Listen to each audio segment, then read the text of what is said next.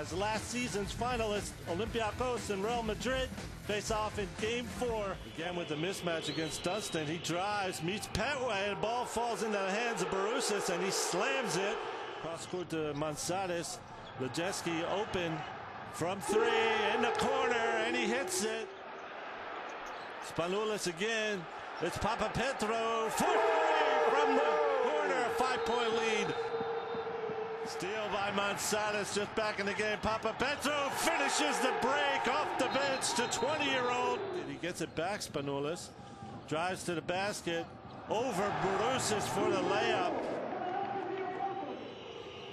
Llull passes off the three pointer. It's Rudy Fernandez Whoa. from way downtown to tie up the game. That was a rainbow, Frank. It was from good eight and a half meters out. Collins in the corner to Petway. To Dunston in the post. Oh. Fake and off the backboard by Bryant Dunston. He gets the foul as well. Spanoulis there. Dunston with the putback. So Bryant Dunston putting the finishing touches. Olympiacos wins 71 62. Second home win in a row.